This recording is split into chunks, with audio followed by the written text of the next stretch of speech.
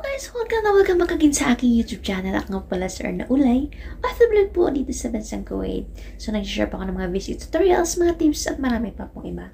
So, sa aking video ngayon, share ko sa inyo ang isa sa mga katanungan ng ating kapwa OFW na uh, nagbabalak po or papunta na siya sa uh, dito sa ibang bansa. So, ang katanungan niya, uh, kung totoo ba daw na kinukuha ang ating uh, passport at ang ating cellphone ng ating uh, employer.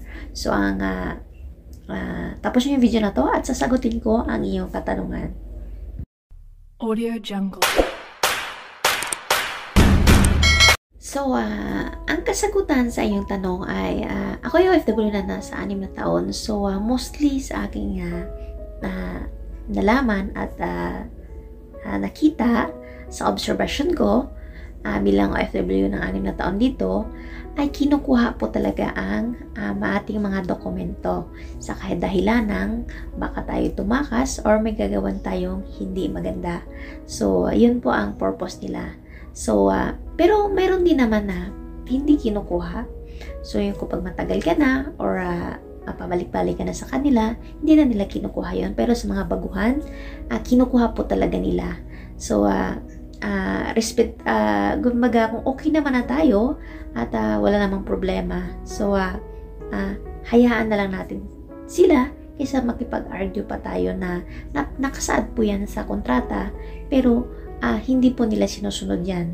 So, sila pa rin po ang magdedesisyon kung ibibigay nila or hindi or i-allow ka nila or hindi. So, thankful po tayo kung tayo nakahawak ng ating mga pasaporte or ang ating ID at nakahawak tayo kagad ng cellphone na may libreng wifi. Uh, tapos naman ang ating kontrata, so binabalik naman po nila yan. Uh, binabalik po nila ng kusa pagtapos na ang ating kontrata kung magpa-process tayo ng ating mga papilis. So, huwag po tayong mag-ala.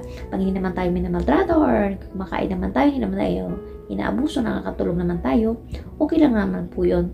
Kisa pailitin pa natin na ayaw nila kasi sila naman ang amo at sila naman masunod. So, uh, wag na nating pilitin. Okay? naman na sa nag-discourage uh, ko kayo. So, uh, yan lamang po ay base lamang sa aking uh, karanasan. So, uh, marami pa rin naman po naman na inaalaw po tayo sa lahat. Free po tayo sa lahat.